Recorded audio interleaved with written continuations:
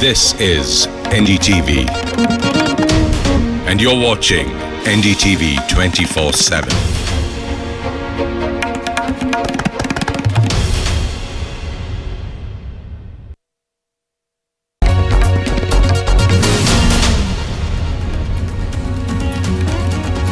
Good evening, you're watching NDTV with me, Rishika Barua. Over the course of the next half an hour, we will take your questions on the coronavirus. You can dial us on the number there on your screens. We'll be joined uh, by a panel of expert doctors who will uh, answer some of those questions. Let me begin by introducing Dr. Subhasis Ganguly. He is a consultant physician and uh, specialist in critical care uh, from the Apollo Hospital. He's joining us uh, from Kolkata. We also have Dr. Rajiv Bhagwat. He's a consultant uh, interventional cardiologist. He's attached to the Nanavati and Breach Candy hospitals in Mumbai. Appreciate uh, both uh, you doctors for being with us on the broadcast. I want to begin, uh, you know, uh, Dr. Ganguly, if I could, with you to ask you, you know, about this entire new theory on whether ventilators are actually effective and whether they should be used uh, for coronavirus patients. There have been, uh, you know, conflicting studies, of course, some saying uh, that ventilators actually prove to be disastrous for coronavirus patients, some saying that you can't blame the ventilator because patients who are put on ventilator support are presumably already in a critical stage. Yeah, good evening, Ishika. Uh, you were right. Initially, it was thought that this novel coronavirus, after it infects a human being after the transmission, after the increase in viral load, initially it starts with a flu or influenza-like symptoms which progresses to the involvement of other organs. And it creates the main injury what usually creates a critical situation is the injury to the lung. And initially it was thought that it could be due to a, a inflammatory reaction, which was an immunological reaction against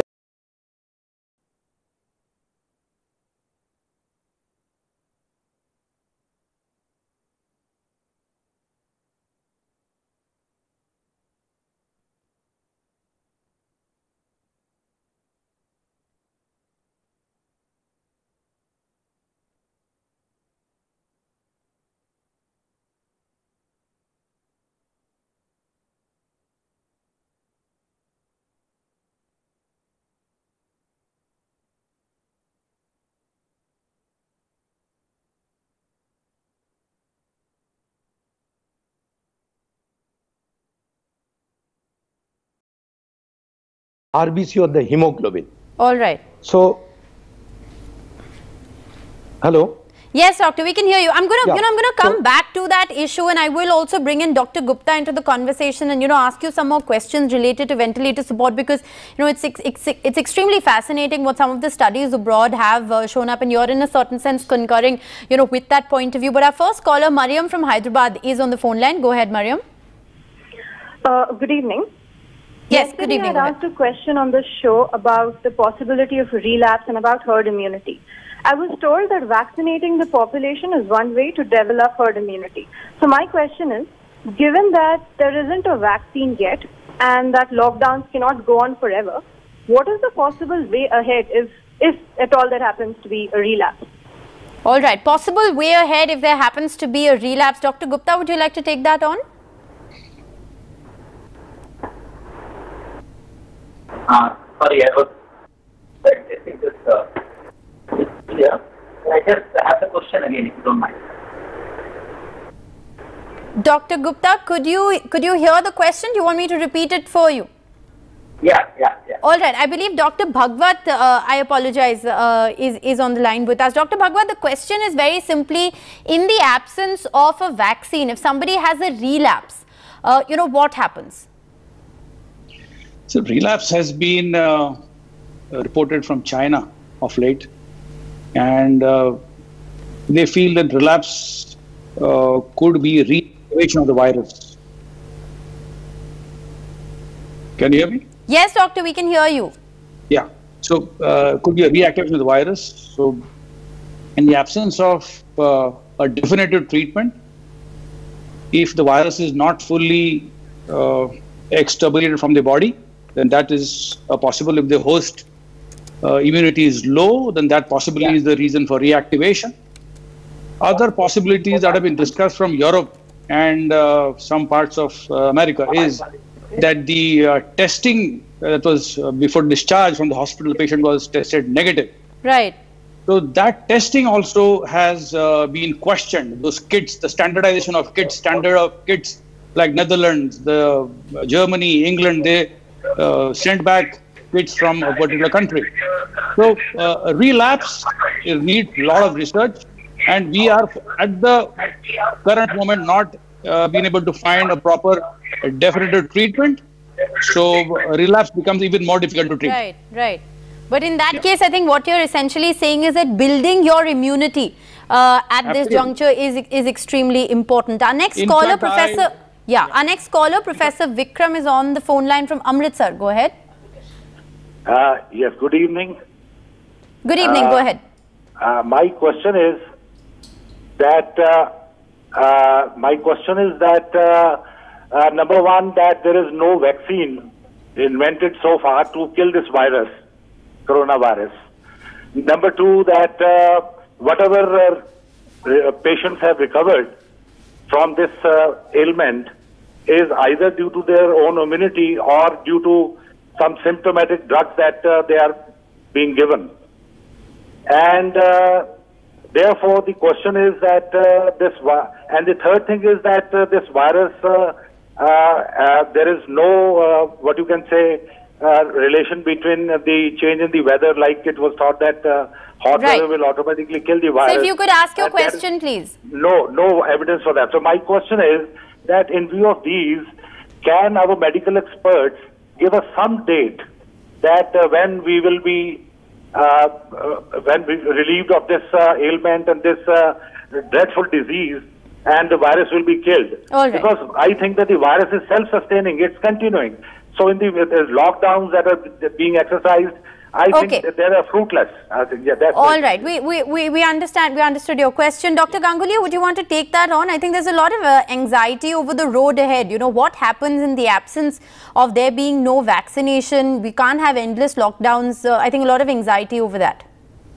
So uh, for me, possibly I can answer in uh, the first answer would be to find out the proper retroviral medications actually. So there are already studies are going on, maybe very specific retroviral therapy like uh, ritonavir, if they start working or the exact doses or uh, remdesivir, there are other works are going on with uh, tocilizumab. So these medicines can help and can uh, maybe eradicate this virus on a human being first. And secondly, regarding the vaccines, I can say that the trials and everything is going on. Although few countries they are claiming that the vaccine will come in within two three months, but exactly uh, the proper data is not with us. Yes. And also, if the tra- if there is a transmission, if there is a spread in the community, it's already it's spreading, then that can uh,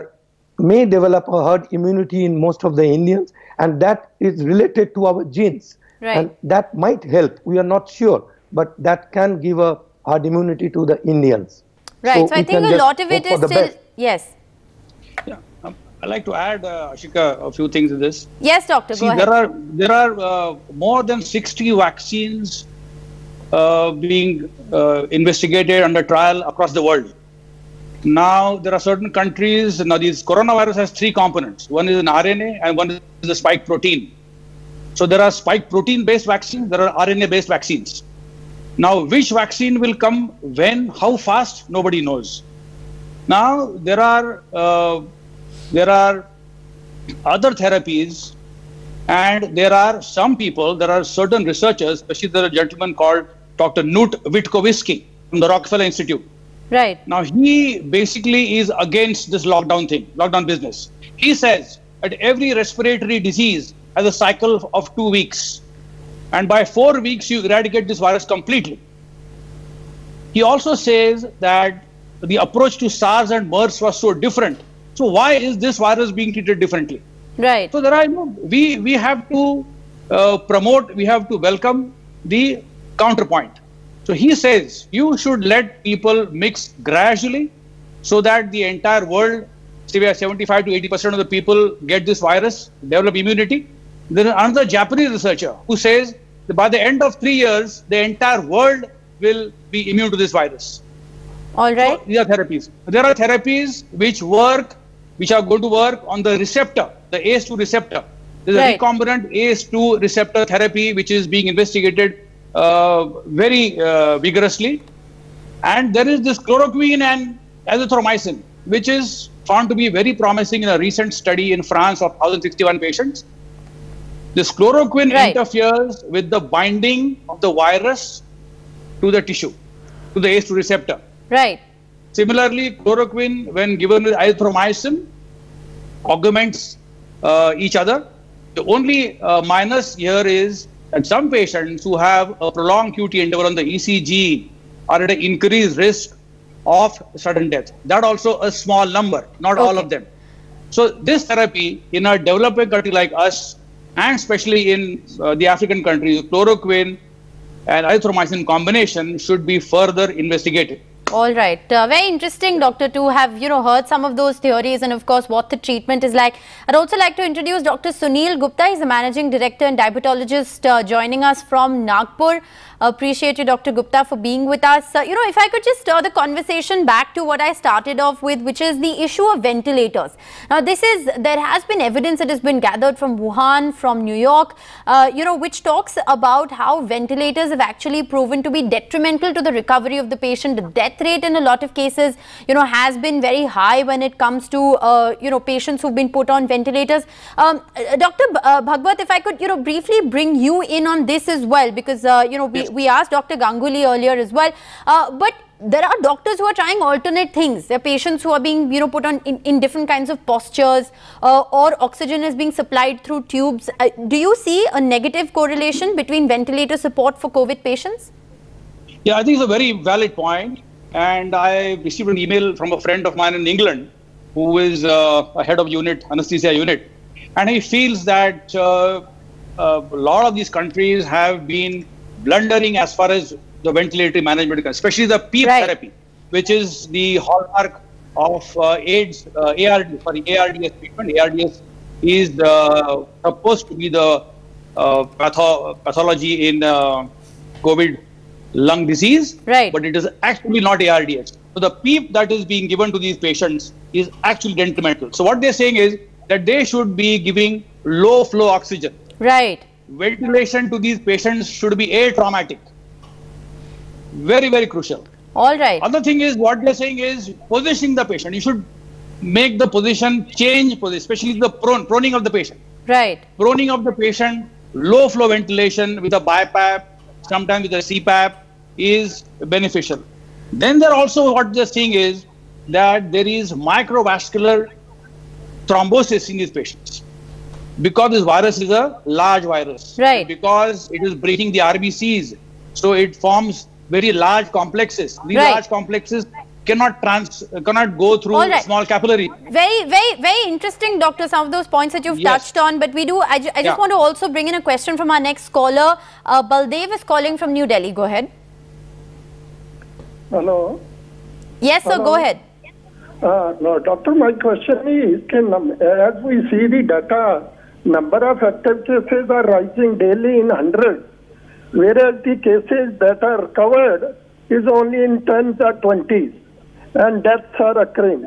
My question is how a normal person takes in a hospital to recover if he has to recover. Okay, but Dr. Sunil Gupta is also with us. Uh, Dr. Gupta, would you like to take that on, uh, the recovery Yeah. period? Uh, yes, uh, this virus course actually starts from maybe if we say uh, day one uh, of the exposure, it might take from two to seven days that it may remain asymptomatic. Right. And maybe after that, in between, you might have a dry cough or you might have fever, uh, which will sets in. And then uh, the virus first few days remains in the throat, and then gradually it enters into the uh, into the uh, uh, lungs. So not only 80% of these patients will not respond, uh, will not need, that the course will be very mild, 80% of them will not need any aggressive management and simple uh, symptomatic uh, measures can help them. They can stay home and they can be treated even Right, at home with quarantine. Now, rest of the 20% of the cases, 50, 15 to 20% of the cases might need hospitalization. Out of them, 2 to 5% of the cases might need a critical care management. Now, depending if the person has a mild to moderate disease, possibly the total course will be up to around 14 days or so. But All if the person goes into critical care stage, Right. In that situation, this, the course I think may, the, rema- may go yes, and to I think what a lot of doctors have also been saying is that uh, the time period for recovery depends on your own level of general fitness, your level of immunity, and of course, if you're predisposed, like Dr. Gupta is saying, you know, to another condition, there could be added complications. But that's in that's in a lot of cases. Most people can actually recover from, uh, you know, the disease, staying home. They don't even need to be admitted into hospitals. Uh, our next caller, GS Chawla, is joining us from Ludhiana. Go ahead. Yes. My question is, in Italy, the uh, death rate of corona victim is very high. It is said that it is because they are not subjected to BCG, BCG vaccination. Right. In India, also those persons who are uh, pre-independence born, they were also not subjected to BCG uh, vaccination. So will it be advisable to conduct the BCG, uh, BCG vaccination on them so that uh, the severe impact of corona may be avoided? All right, BCG vaccination. I think that's uh, you know that's been a very interesting question. Uh, Dr. Ganguly, would you like to uh, take that on as well, and then Dr. Gupta, we can come back to you. BCG vaccination and the connection with morbidity. Uh, for me, I am not sure about this because Right. uh, we have seen that most of the Indians who have taken BCG vaccination, they have got a cell wall protection from this virus. But exactly the uh, mechanism or the pathophysiology, I cannot explain. So I suggest Dr. Gupta Right, Dr. Gupta, would you then like to take that on? Yeah. See, BCG vaccination uh, is basically for tuberculosis prevention. It actually does, it covers only severe form of tuberculosis, and hardly few percentage of the patients get protected. People have a myth. People have a misconception that BCG vaccines, those who have taken BCG vaccine, they are immune to COVID. It is not so. Okay. It is that possibly it might give you some extra immunity if you have taken a BCG vaccination. Right.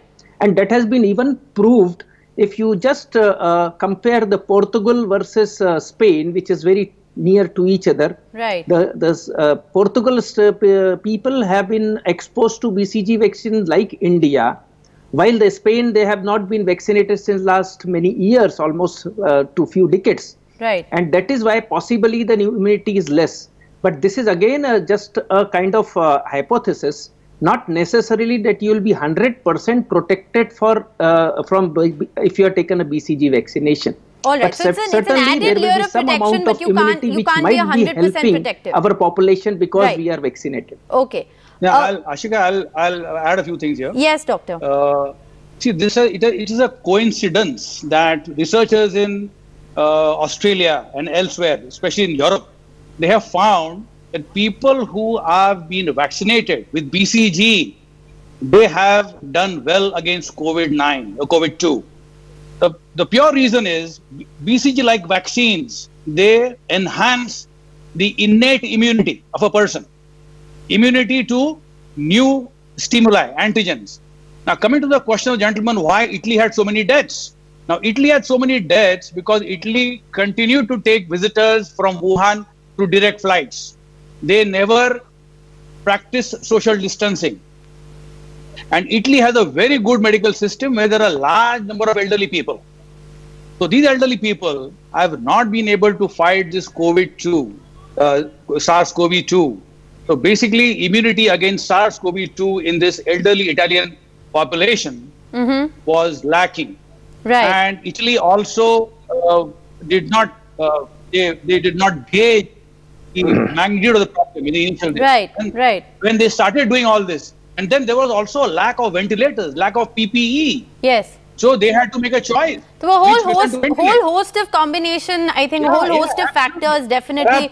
Uh, so you Yes. can't really compare Italy and India in that sense. But I think the BCG vaccine question is an interesting one, uh, Yes. and it has been. It has also, you know, the research that we're putting out on our screens also says that you know mortality rate could be curtailed in certain nations where patients, you know, had been given the BCG vaccine. So there's definitely that, but whether it can 100% protect you or not uh, is Yeah. not for certain.